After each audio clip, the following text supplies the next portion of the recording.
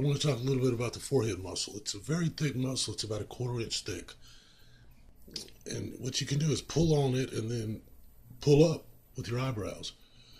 Resistance, resistance, resistance, not just uh, resistance with the nerves, but with the hands. It's about a quarter inch thick, and it's one of those muscles that when they sag, that really makes a difference. You know, as you're young, it doesn't sag, but as you age, it really makes a difference. The neck and the forehead. So pull down on both sides and pull up. I mean, just because you can't see it doesn't mean it's not there. You can't see the muscle in your bicep, and it's there. But you know, either way, it's all good. You want to let it sag? Hey, let it sag. I want the free bandwidth. I don't want the haters. I mean, I ain't asked you for no money, so you ain't got no reason to be mad at me.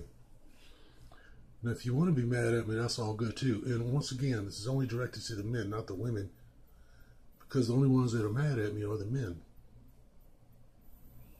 It's all good.